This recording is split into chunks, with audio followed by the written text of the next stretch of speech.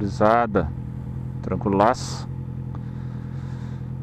Estamos aí rodando num dia de semana pelo centro de Big River. Temperatura da hora. Bom, agora esses dias eu tava lá na garagem, na volta da moto, me lembrando ainda, né, cara? Como é que eu. De onde vem, né? Essa, esse meu amor pelas motos, né, cara? Essa, como, esse hobby que virou, né? E. Me lembrando da RDZ, que foi a moto que eu comecei a. que eu aprendi, né? Na realidade, a andar. Pô, nunca esqueci, cara lá na ilha, lá onde minha família era de lá. Do nada o pai parou a moto um dia ele na estrada, pô, estrada de areia, né? Areia solta era, cara. Pô, eu tinha 12 anos. Pô, tô com 38. ah, louco. 96 foi. E aí. E aí ele parou a moto com tudo e disse pra mim ir pra frente ali. E aí eu fui e ali eu comecei a pegar os jeitos de embreagem, aquela coisa e tal. Até eu vou ver agora aqui se eu vou botar uma uma fotinha da RDZ que eu andava, RDZ 2. Era uma ano 86 era o ano dela. É 86.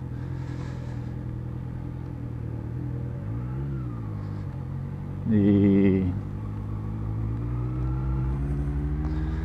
Ah, era massa, cara. Eu não sabia. Eu não sabia frear. E o meu freio era eu deixar a moto se apagar, cara. Eu soltava o acelerador e ela se apagava. E, e andando só em primeira marcha, né? Eu me lembro direitinho depois que eu. O dia que eu fiz a primeira marcha, a troca de marcha e aí ela, eu fazia as primeiras e ela não não entrava certa marcha, né? Dava uns, uns trancão pra frente. E eu me lembro depois, e eu fazia sempre uma análise, né? Ficava analisando como é que eu tinha andado naquele dia ali. E eu só andava lá na ilha, lá nessa areia aí. E aí eu me lembro depois que eu fiz a, a primeira marcha e, e entrou certo, eu falando pro pai, vá, fiz a marcha certa hoje, entrou certinho ali. e aí foi. E aí começou, né? Ah, muito legal, cara. E, a... e nisso aí depois ele tá aproveitando bastante a redesia ali, né? Andei bastante nela e depois ele pegou uma uma CB 400, cara, ano 83. Linda, linda, pretona, com os detalhes cinza. Vou botar uma fotinha dela aqui em cima também. Ah, top demais aquela moto ali, cara. Ah, me lembro que ele botou um ela era dois escapes, né? E ele pegou e botou botou um coiote só.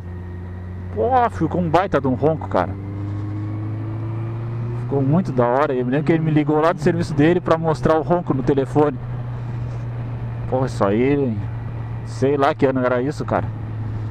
Devia ser 99, 98 por aí. Em seguida, assim, é, eu tinha 14 anos quando andava nela. Ah, tá louco, aquela moto ali era demais, cara. E a CB400, ela tem um, um ronco peculiar, né? De longe tu escuta, tu sabe que é uma CB400. Uma bicilíndrica top, cara.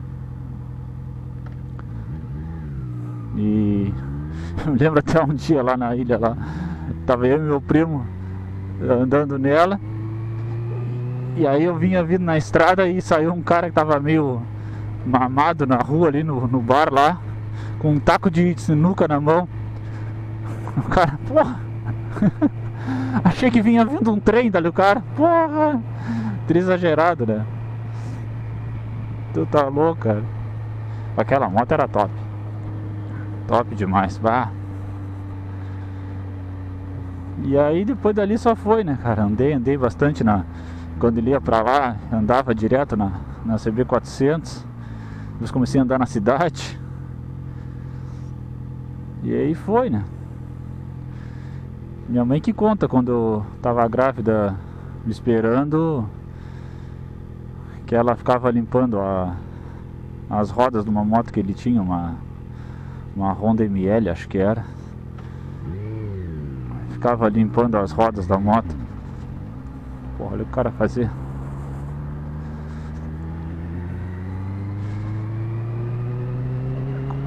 Comigo na barriga e ficava limpando as rodas da moto.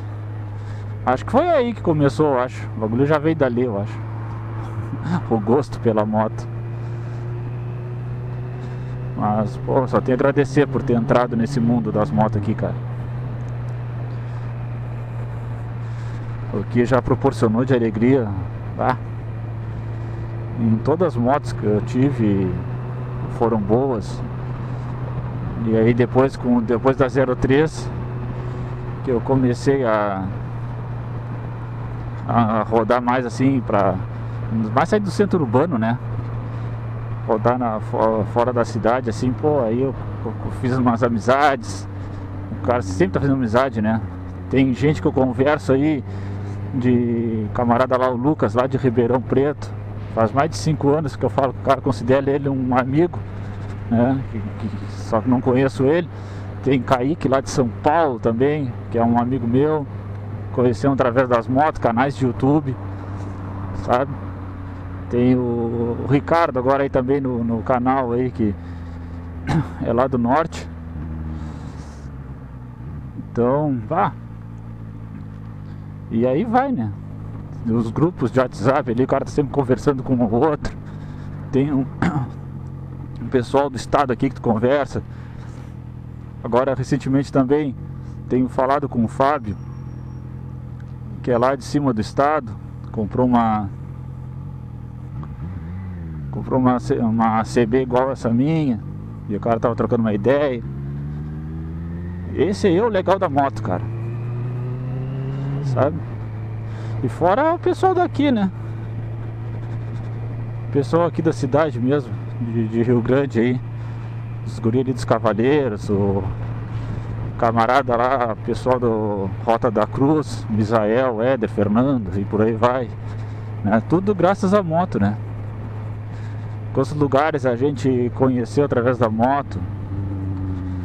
Sempre que dá a gente roda, né? Não, infelizmente não é sempre que eu consigo, né?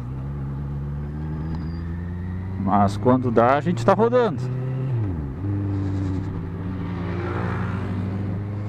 É bom, cara. É bom.